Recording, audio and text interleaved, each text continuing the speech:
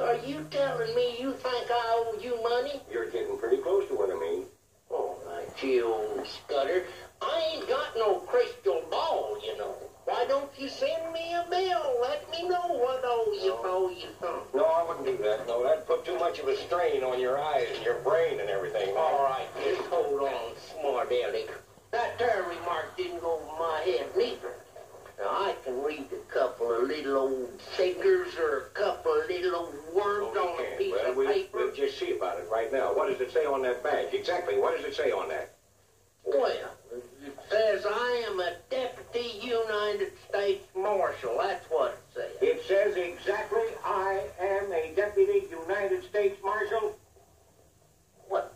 Nobody but a old quack quack could ask such a thing as that anyhow. You didn't I've got advertising.